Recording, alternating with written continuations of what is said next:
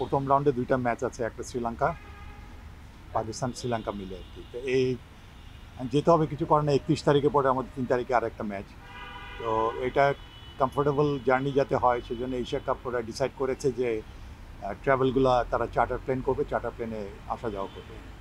এখন এটা তো এশিয়ান ক্রিকেট কাউন্সিলের রেসপন্সিবিলিটি অ্যান্ড অবশ্যই আমরা চাইব যে ভালো কোনো এয়ারলাইনে এবং যদি কোনো ন্যাশনাল এয়ারলাইন ভালো এয়ারলাইন থাকে ডেফিনেটলি এগুলো চার্টার করলে পরে সবার জন্য ভালো।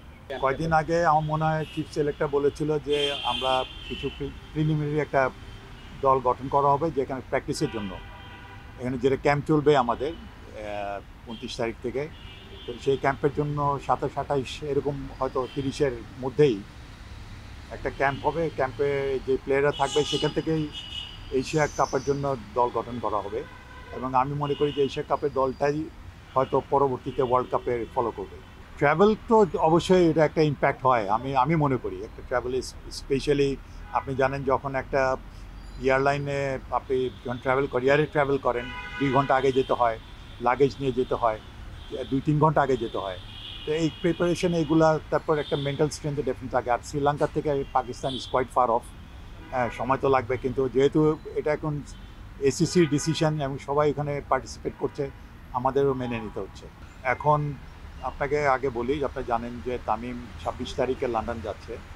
যে এখন তো আমাদের কারেন্ট ক্যাপ্টেন যাকে আমরা বলে থাকি, যে সে লন্ডনে যাচ্ছে ছাব্বিশ তারিখে, তার ওখানে ট্রিটমেন্ট আছে। সে ট্রিটমেন্ট করবে ডক্টর দেখাবে, এরপরে ডিসিশন হবে তার সিচুয়েশন কি উইল লেট আস নো আশা করি তার প্ল্যান হচ্ছে সে একত্রিশ তারিখের মধ্যে দেশে ব্যাক করবে।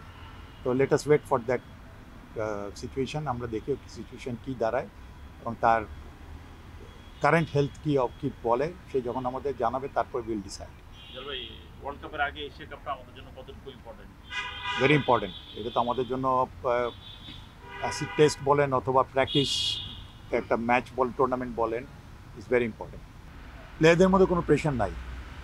আমি প্লেয়ারদের সাথে কথা বলেছি আপনারাও অনেক কথা বলে দেখেছেন। দেখেন খেলায় হার জিত তো আছে যখন আমরা হয়তো আমরা টু ওয়ান সিরিজ হেরেছি এখানে মানেই না যে আমরা আবার ওইটা রিপিট করব।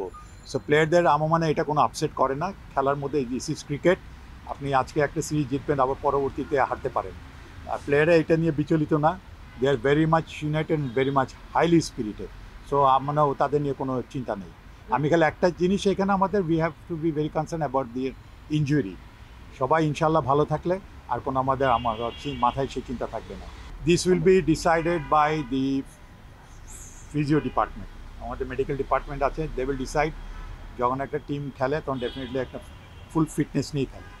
হ্যাঁ ওইখান থেকে কিছু প্লেয়ার হয়তো এখানেও, হয়তো আমরা যে প্রিলিমিনারি স্কোয়াডে প্র্যাকটিসে নামাবো, তাদেরতেও দুই একজন হয়তো এখানে ইনক্লুড হবে। এবং they are some of them are doing very well দেখেন ফাইনাল সিলেকশন যেটা ফিফটিন হবে, এটা তো পরের কথা। আমরা প্রিলিমিনারি আমরা একটা স্কোয়াড যেটা দিব, তার মধ্যে যারা ইমার্জিংয়ে হয়তো যারা পারফর্ম করছে, তাদের থেকে দু একজন এখানে আসতে পারে।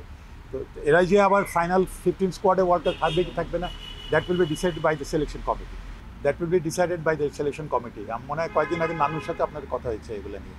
সবাই কাপের জন্যই খেলে। প্রিপারেশন মেন্টাল ওরকম মাইন্ডসেট যেটা থাকে, সেটা কিন্তু ট্রফি জেতার জন্যই থাকে। তো আমাদের মাইন্ডসেট তাই। তারপর দেখা যাক, মাঠে প্রতিটা ম্যাচই চ্যালেঞ্জ হিসাবে নিতে হবে। এরকম কোনো কথা হয়নি, তবে হয়তো ফিফটিনের বেশি আমরা কিছু প্লেয়ার নিব। এখানে প্র্যাকটিসের জন্য আমাদের প্লেয়ার দরকার আছে।